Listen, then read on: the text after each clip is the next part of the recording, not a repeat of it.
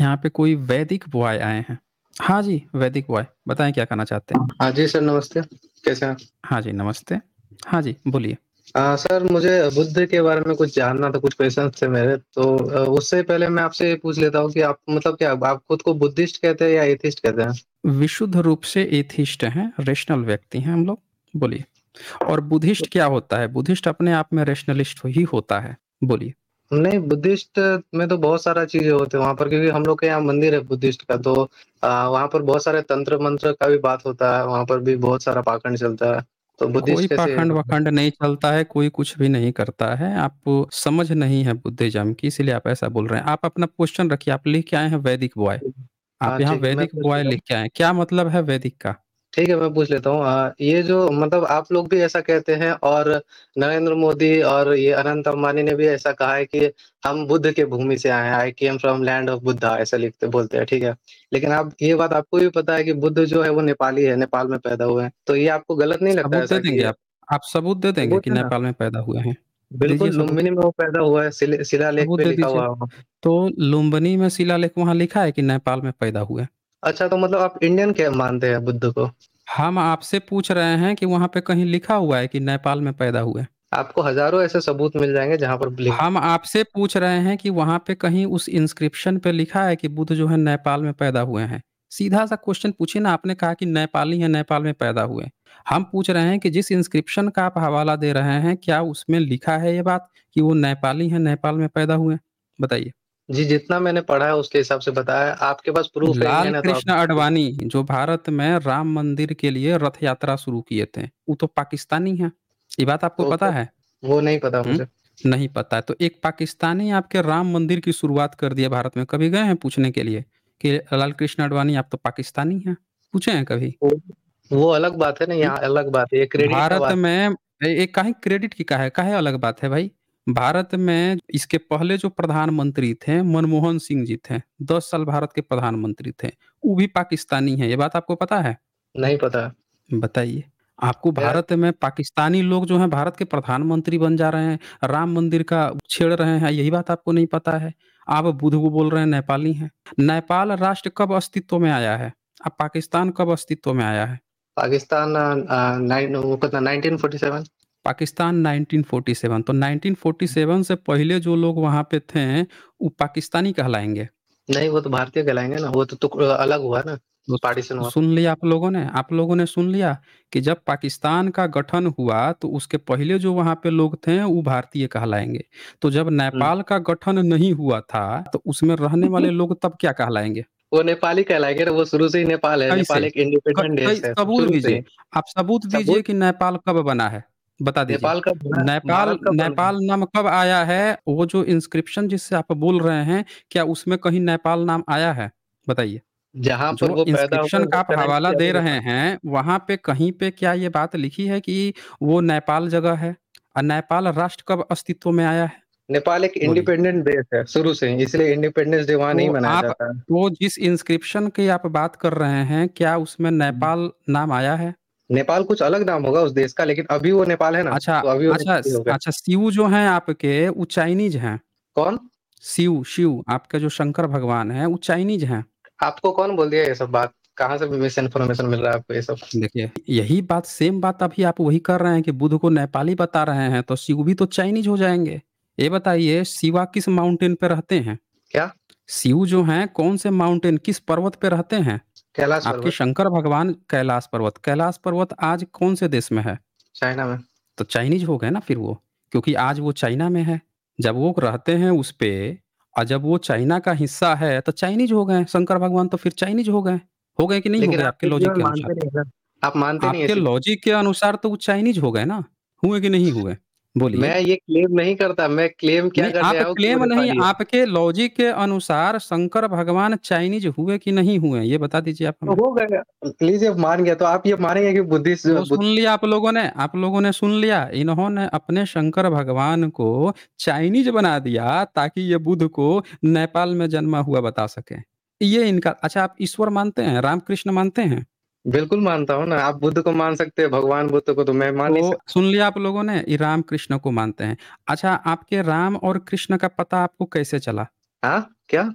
आपके राम और कृष्ण का पता आपको कैसे चला कि राम नाम का कोई व्यक्ति है, कृष्ण नाम का कोई व्यक्ति है, कोई एविडेंस, कोई सबूत कैसे आपको पता चला? जैसे आपको बुद्ध के बारे में पता चला वैसे मुझे नहीं, रामकृष्ण के हम बारे में लोगों को पता चला। बुद्ध हम लोगों को बुद्ध जो है कथा-कहानी से नहीं पता चला ना, हम लोगों को बुद्ध पुरातात्विक सबूतों से पता चला। हम लोगों को सबूत मिले, उस लिपि और भाषा में लिखे हुए मिले जो भारत के लोग नहीं पढ़ते थे। पुरानी खुदाई हुई, ज़मीन से खुदा, लिखे हुए प्रमाण मिले, चित्र मिले।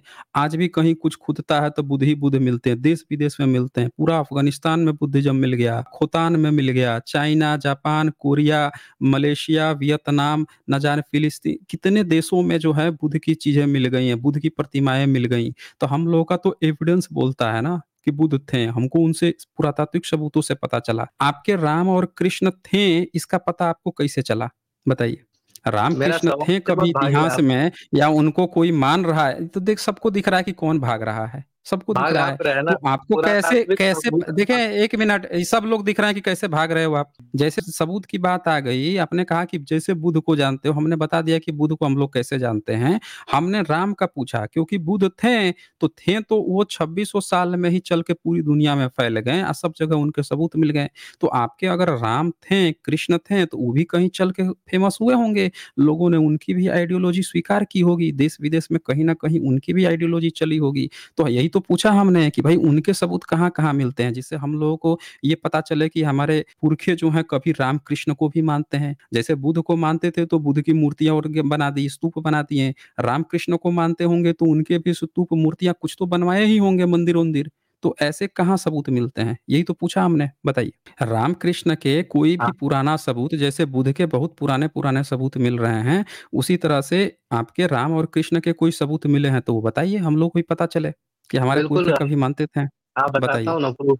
हाँ, जैसे कि हुँ, बुद्ध का बताइए। ये सब मिला हुआ आपको प्रूफ़ तो वही प्रूफ़ में मा मैं आपको बता रहा हूँ कि वो नेपाली थे, वहाँ प्रूफ़ मिला हुआ है लुम्बिनी में, शिलालेख मिला हुआ है। आप इसके बारे में बता तो नहीं रहे, घुमा रहे देखें ए एक मिनट वैदिक बॉय, सब लोग यहाँ देख चुके हैं कि आप बुरी तरह एक्सपोज़ हो चुके हैं। आपने शिव को आपने चाइनीज़ साबित एक्सपोज़ कर हुआ दिया है। दिख रहा है। सब लोग देख सकते हैं कि ये रवि गुप्ता बुरी तरह से एक्सपोज़ हो चुका है। इसने शंकर भगवान को अपने चाइनीज़ घोषित कर दिया, क्योंकि कैलाश पर का चाइना का कब्ज़ा है। सवाल का तो सब लोग सब लोग देख सकते हैं यहाँ पे कि बुरी तरह एक्सपोज़ हो चुका है और हमने पूछा कि अगर बुद्ध अगर नेपाली थे देखें कहानी यहाँ पे चलती नहीं है, कौन डरा है सबको दिख रहा है। सब लोग देख रहे हैं कि कौन डर गया है। सब लोग देख रहा है कि कौन डर गया है। ये व्यक्ति के पास जवाब नहीं है कि दिखा सके कि कैसे नेपाली कह रहा है। आप दिखाए ना आप, आप हमें दिखा दीजिए सबूत कि नेपाल कहाँ लिखा हुआ है वहाँ पे। आप सबूत दिखा दो कि नेपाल लिखा हुआ है उस पे हम मान लेंगे। आप वहाँ सबूत दिखा दो ना। आप सबूत माइक दिखा दोगे तो हम मान लेंगे। आप सबूत आप सबूत दिखा दोगे तो हम मान लेंगे, सबूत नहीं दिखाओगे तो हम नहीं मानेंगे। हाँ, एक बात कंट्रोल ज़रूर सब लोग है, तो कंट्रोल है तो हम निकाल देंगे ना यहाँ पे फिर। बकवास यहाँ थोड़े चलती है, आप सबूत दिखा देंगे तो हम मान लेंगे। सब लोग देखे इस बंदे ने अपने शंकर भगवान को चाइनीज़ घोषित कर दिया। लेकिन ये बंदा ये नहीं दिखा पाया कि जो बार-बार ये बोल रहा था कि लुम्बिनी में मिला है, कहीं भी उसमें नेपाल लिखा हो, ये इसने नहीं दिखा पाया। अब हम जो है इंस्क्रिप्शन खोलते हैं ना सीधे, सीधे जो है हम इंस्क्रिप्शन खोलते हैं कि भाई देखें उसमें कहाँ पे लिखा हुआ है, नेपाल लिखा हुआ है, भागना मत, यहीं पे रहना, अभी बैकग्राउंड में किए हैं। क्योंकि ये बंदा जो है हर बात पे बोल रहा है बिना किसी सबूत के। जब तक कोई जो है सबूत नहीं देगा, तब तक हम मान नहीं सकते ना। जब तक आप सबूत नहीं दिखाएँगे कैसे साबित होगा? भाई सारा खेल जब सबूत का आपको सबूत दिखाना पड़ेगा। आप एक जगह दिखा दो, जैसे अभी जब पूछा गया कि शिव क्या नेपाली हैं? तब भड़क गया था, काहे आप गलत खबर फैला रहे हो, मिस इंप्रेशन कर रहे हो? अब खुद बोल रहा है कि वो चाइनीज़ है। बताइए। ये देखें ये इंस्क्रिप्शन है, यही है ना? रुमनदेई, रुमनदेई इंस्क्रिप्शन यही है। तो आए भाई और ज़रा ये बताइए आप हमें कहाँ गया ये? भाग गया? नहीं है। भाई ये हमने आपका इंस्क्रिप्शन खोल दिया है, रुमनदेई पिलर इंस्क्रिप्शन। तो ज़रा इसको पढ़ के बताइए इसमें कहाँ लिखा हुआ है आपका कि नेपाल में जन्म लिए थे? हमने इंस्क्रिप्शन ही खोल दिया है। बताइए। ये कौन-सा पिलर है? कहाँ पे लिखा हुआ है ये? ये तो टेक्स्ट बुक है। ये आपके इतिहासकार का कंपाइल किया हुआ है, सारे जितने सम्राट अशोक के इंस्क्रिप्शन हैं, उसको एक साथ कंपाइल किया गया है और ये टेक्स्ट अच्छा। लिखा गया है कि उस पे क्या-क्या लिखा हुआ है और नीचे हुँ। उसको संस्कृताइज़ करके भी लिख दिया गया है, ताकि जिसको संस्कृत आता हो संस्कृत में समझ लेगा, जिसको पाली आता हो पाली में समझ लेगा। तो मेरे इस को नहीं। इंस्क्रिप्शन में ये कहाँ लिखा हुआ है कि वो नेपाल में था? अभी आपने एक बात कही थी कि 1947 से पहले जब पाकिस्तान नहीं था, तो वहाँ जो लोग जन्म लेते थे उनको हम भारतीय कहते थे। तो उसी तरह से यहाँ पे नेपाल कहाँ लिखा हुआ है? आइए कैसे साबित होगा कि उस समय में जहाँ पे जन्म हुआ था वो भारत में था कि नेपाल में था? ये कैसे साबित होगा? बताइए। मतलब आप क्या मानते हैं कि इन इंडिया का हिस्सा हम आपसे ये मानते हैं कि कैलाश पर्वत चाइना ने कब कब्जा किया है? ये बताइए। अरे जब भी कब्ज़ा किया हो मैं हिस्ट्री का स्टूडेंट आप। बता दीजिए ना, आप नहीं है तो काहे ज़बरदस्ती आप मिस इन्फॉर्मेशन फैला रहे हैं फिर? काहे हर फैला जगह रहे पे हैं? लिखा हुआ है कि लुम्बिनी में पैदा हुआ है। तो लुम्बिनी में ई नेपाल कहाँ लिखा हुआ है? आप कहे ना कि नेपाल में पैदा हुए, ई कहाँ लिखा हुआ है तो इसमें? लुम्बिनी अभी नेपाल इसमें में आता है ना सर, आप समझ नहीं रहे बात। लुम्बिनी अरे भाई प्रोविंस तो ना आता है आज आ, ये बताइए तो पाकिस्तान भी तो 1947 के बाद से पाकिस्तान बन गया है, उससे पहले तो भारत था। हम कैसे मान ले अच्छा सम्राट अशोक भी नेपाली थे क्या? सवाल क्या पूछ रहा हो, जवाब क्या दे रहे हैं आप? हम जो पूछ रहे हैं उसका जवाब दीजिए ना। हम जब तक निष्कर्ष नहीं निकलेगा पता कैसे चलेगा कौन झूठ बोल रहा है? झूठ क्या बोल अच्छा रहा ये है? ये इंस्क्रिप्शन ये इंस्क्रिप्शन कौन लिखवाया था? ये बताओ पहले इंस्क्रिप्शन कौन लिखवाया था? सम्रोट सम्राट अशोक। तो सम्राट अशोक जो है नेपाल में जाके इंस्क्रिप्शन लिखवा के आए थे। हाँ, तो वहाँ पैदा हुए थे तो हुँ? वहाँ जाके लिखवा दिया कि हाँ, इधर पैदा हुए थे ये लोग सुन। लिया आप लोगों ने? आप लोगों ने सुन लिया इस बंदे की कहानी? ये जो रवि गुप्ता है, ये क्या बता रहा है कि वहाँ पे जाके वो लिखवा के आए थे।